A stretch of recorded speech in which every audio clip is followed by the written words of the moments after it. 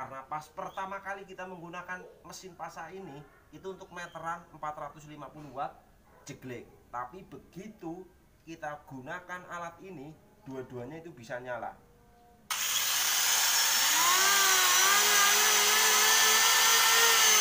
mantap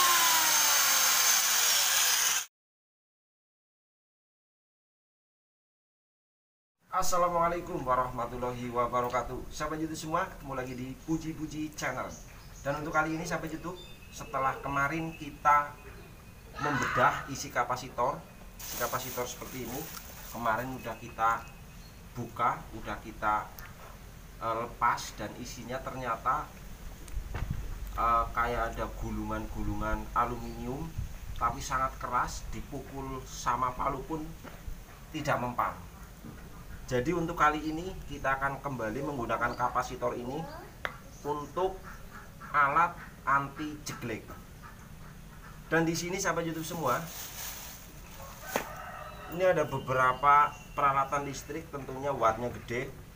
Ada gerenda, ada bor, ada juga mesin pasah Bagaimana caranya agar listrik 450 watt. Itu ada listrik meteran itu 450 watt. Itu kuat ketika mengangkat beban dengan watt yang lebih menggunakan kapasitor ini. Simak selengkapnya di Puji-Puji Channel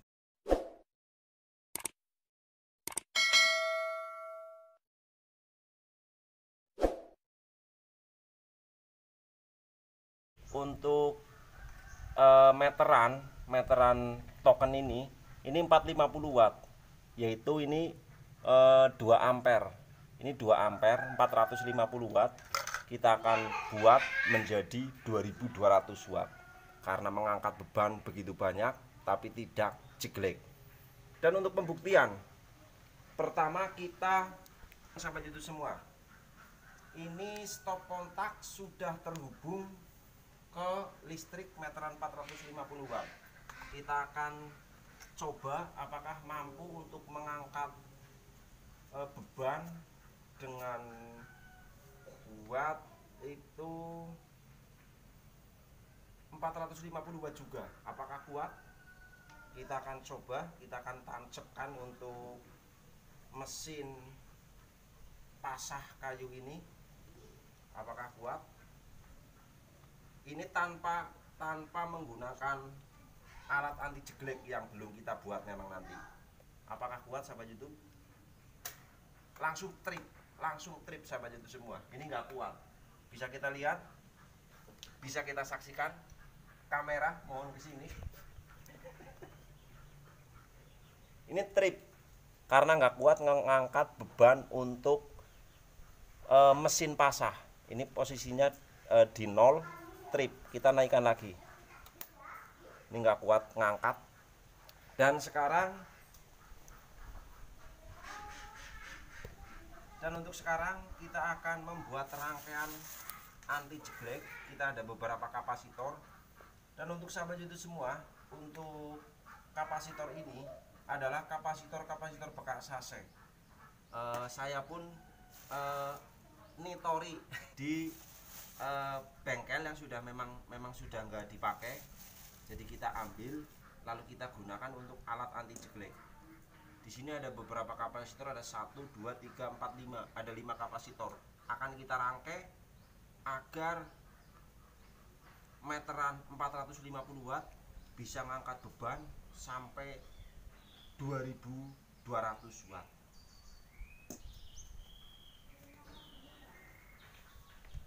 kita lepas dulu. Ini tadi ini tadi mesin pasah yang tidak bisa digunakan karena listrik jeglek.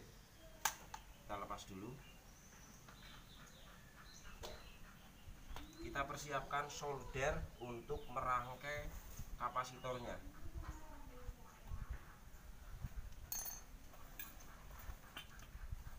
Sini ada beberapa kapasitor akan kita hubungkan ini sahabat YouTube ini ada kaki kaki kaki kaki kapasitor ini akan kita hubungkan. Kita paralel antara uh, kabel kabel merah. Ini untuk min dan untuk kabel hitam itu untuk kabel positif. Kita rangkai dulu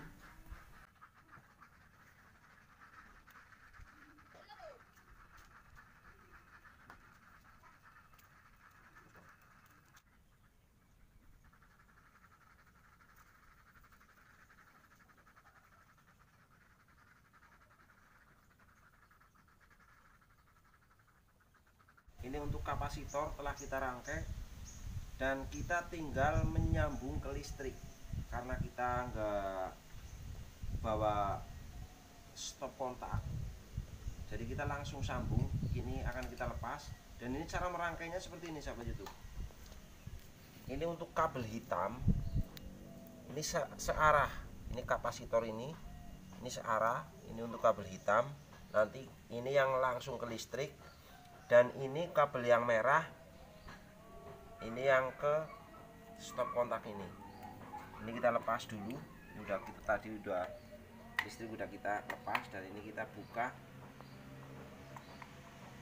Kalau sahabat YouTube semua ingin langsung menggunakan stop kontak seperti ini ini bisa sebenarnya. Bisa langsung dipakai. Jadi sewaktu-waktu mau menggunakan alat uh, yang wattnya gede ini bisa dipakai. Atau kalau mau langsung dipasang itu di atas MCB jadi ini adalah aliran listrik yang ke MCB terus ini yang ke rangkaian e, instalasi di dalam rumah seperti ini. Jadi itu udah langsung semua komponen listrik sudah menggunakan ini. Kalau mau masang di MCB tapi ini karena kita mencoba jadi ini kita pasang cara masanya seperti ini sahabat YouTube? Ini yang hitam ini langsung ke listrik seperti ini. Ini salah satu kita lepas dan yang satu enggak kita lepas. Seperti ini.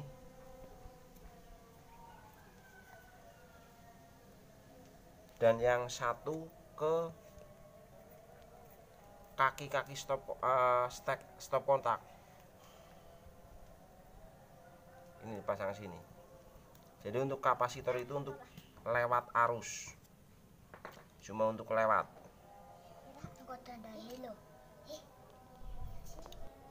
Ini kita pasang. Seperti ini. Seperti ini. Ini karena uh, kita nggak bawa peralatan lengkap.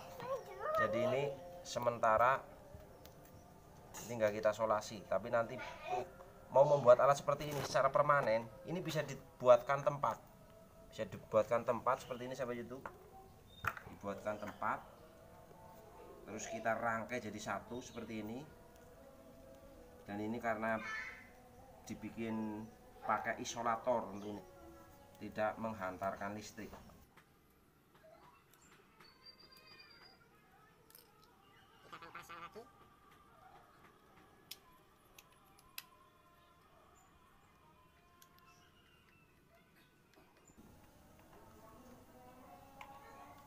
kita pasang sahabat YouTube. Terus kita tancap untuk kabel listrik ini. Tancap kita tancap ini udah ada listriknya.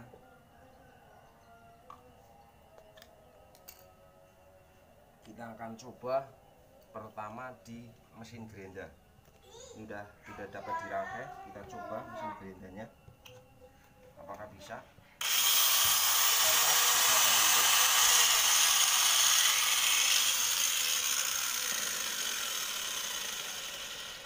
dan kita coba tadi ini pas pertama nyalakan ini sebelum pakai kapasitor ini itu langsung trip langsung jeglek apakah sekarang bisa?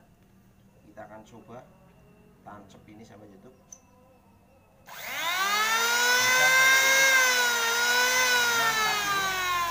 Ini alat anti jeglek tanpa rekayasa. Ini benar-benar uh, alat anti jeglek yang tidak uh, orang orang Lomboni lah. Kita nyalakan coba nyalakan dua-duanya. Bisa ternyata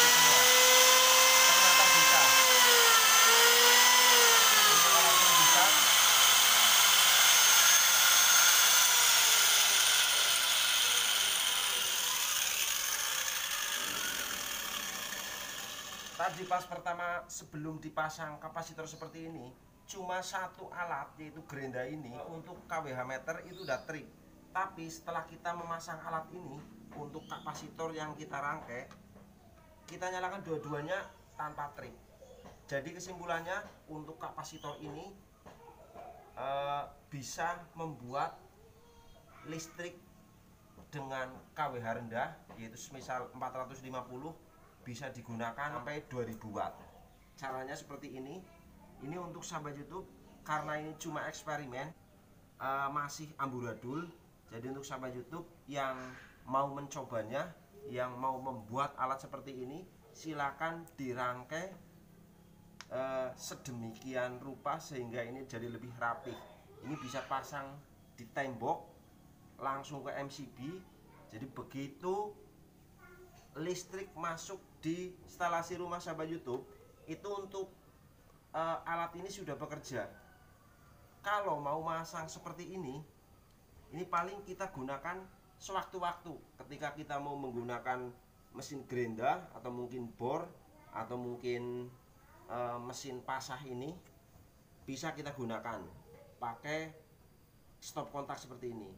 Tapi kalau mau langsung ke instalasi listrik di rumah sahabat YouTube itu masangnya per MCB masangnya seperti tadi cuma untuk kapasitor ini cuma untuk arus lewat. Jadi yang satu ke MCB yang satu ke rangkaian uh, instalasi sahabat YouTube semua. Instalasi listrik sahabat YouTube semua. Ini nyala sahabat YouTube. Mantap.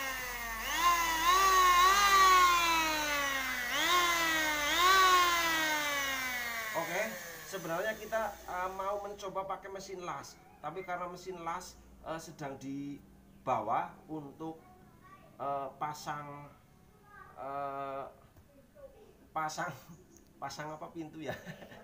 Untuk pasang pintu pagar jadi mesin lasnya tidak di rumah.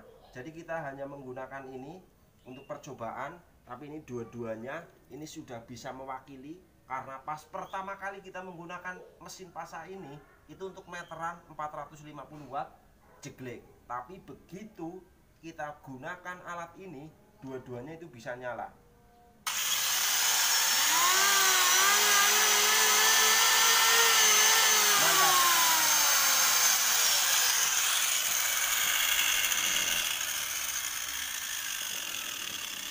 Ini dua-duanya nyala. Kalaupun alat bor ini dipakai itu pun akan nyala.